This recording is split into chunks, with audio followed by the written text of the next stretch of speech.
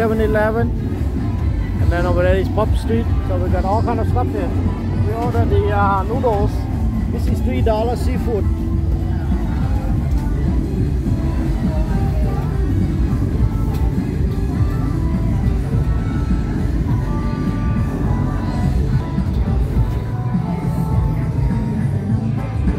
For my YouTube, don't worry. Just for fun only.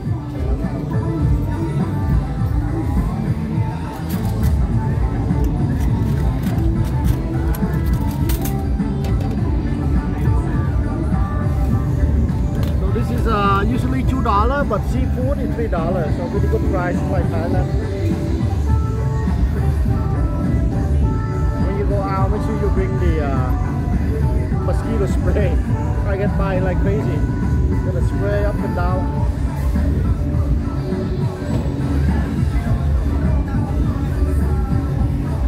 Many mosquito here. A lot of river and lakes here, that's why. Standing waters.